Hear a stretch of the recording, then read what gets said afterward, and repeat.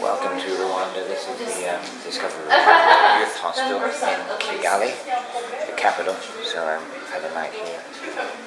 I'm moving on uh, by overland transport to the Democratic Republic of Congo.